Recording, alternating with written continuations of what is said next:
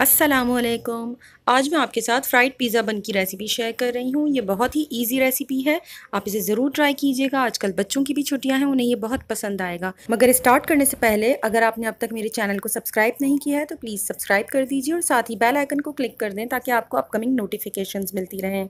सबसे पहले हम बन के लिए डो रेडी करेंगे। इसके लिए मैंने दो कप मैदा लिया है। शामिल करें आधे से एक चाय का चम्मच नमक, एक चाय का चम्मच चीनी डेढ़ चाय का चम्मच इंस्टेंट ईस्ट पाउडर तमाम ड्राई इंग्रेडिएंट्स को पहले अच्छी तरह से मिक्स कर लें। इसके बाद इसमें दो खाने के चम्मच तेल शामिल करें और साथ ही पानी शामिल कर कर इसे अच्छी तरह से गूंद लें।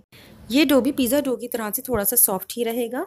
इसे आप भूनने के बाद किसी फ्लैट सरफेस पर रखकर हथेली की मदद से सिर्फ़ एक दो मिनट के लिए मसल लीजिए ताकि डो बिल्कुल स्मूथ हो जाए। एक से दो मिनट के बाद जब आटा बिल्कुल स्मूथ हो जाए, तब आप इसे किसी बड़े बाउल में थोड़ा सा ऑयल लगाकर पहले ग्रीस करें और इसके बाद ये डो उसके अंदर रखें और ऊपर से भी हल्का सा ऑयल लगा दें। इसके बाद इसे कवर कर कर गर्मियों में आधे घंटे में भी ये राइज़ हो जाएगा और विंटर्स में आप इसे तकरीबन डेढ़ घंटे के लिए छोड़ दें। तक डो राइज होता है, हम इसकी फिलिंग रेडी कर लेते हैं। फिलिंग के लिए मैंने लिया है 300 ग्राम बोनलेस चिकन इसे मैंने छोटे क्यूब्स में कट कर लिया था। इसमें शामिल करें दो खाने के चम्मच गाढ़ा दही। एक खाने का चम्मच तेल आधा चाय का चम्मच हल्दी पाउडर एक चाय का चम्मच लाल मिर्च पाउडर आधा चाय का चम्मच या हसबे जायका नमक एक चौथाई चाय का चम्मच भुना कोटा धनिया एक चौथाई चाय का चम्मच लहसुन का पाउडर या पेस्ट एक चौथाई चाय का चम्मच अदरक का पाउडर या पेस्ट चौथाई चाय का चम्मच भुना पिसा ज़ीरा एक चौथाई चाय का चम्मच गरम मसाला पाउडर एक खाने का चम्मच सिरका तमाम चीज़ों को अच्छी तरह से मिक्स करके 15-20 मिनट के लिए छोड़ दीजिए 15 से 20 मिनट मैरिनेट करने के बाद इसे कुकिंग पैन में फैला दीजिए अच्छी तरह से और फिर कवर कर कर हल्की आँच पर कुक होने के लिए छोड़ दीजिए।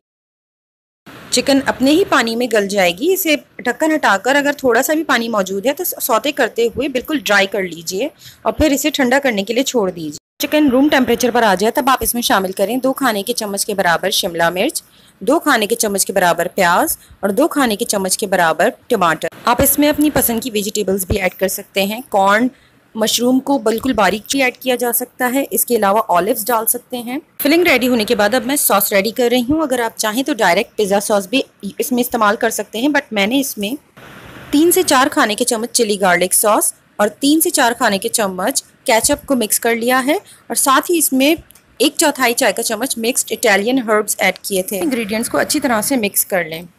जब डो अच्छी तरह से राइज हो जाए, तब आप इसे पंच डाउन करें और इसे फ्लैट सरफेस पे निकाल के थोड़ा सा नीट करते हुए लंबा सा लॉग बना लीजिए। फिर इसे छुरी या फिर डो कटर की हेल्प से छः बराबर के हिस्सों में कट कर लीजिए। जब हम पिज़्ज़ा डो या फिर ब्रेड डो वगैरह बनाते हैं तो उसे हमेशा कट कर कर उसके पेड़े अलग करते हैं। रोटी के आटे की तरह हम उसके खींच कर कभी भी पेड़ा नहीं निकालते। तमाम पीसीस को स्मूथ करके बॉल्स बना लीजिए और उसे पाँच दस मिनट के लिए छोड़ दीजिए। पाँच मिनट के बाद एक पेड़े को लें और उसे हाथों की मदद से अच्छी तरह से फ्लैट कर लें। अगर आप चाहें तो आप रोलिंग पिन भी इस्तेमाल कर सकते हैं।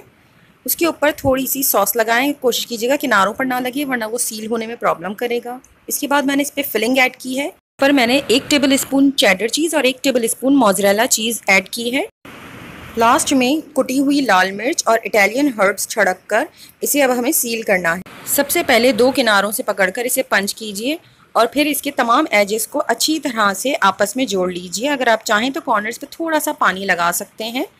इसके बाद दोनों दूसरे कॉर्नर्स को उठाकर उसे भी बीच में लाएँ और बीच में अच्छी तरह से इसे फोल्ड कीजिए, क्योंकि फ्राई होने में चीज़ मेल्ट होकर बाहर आ सकती है।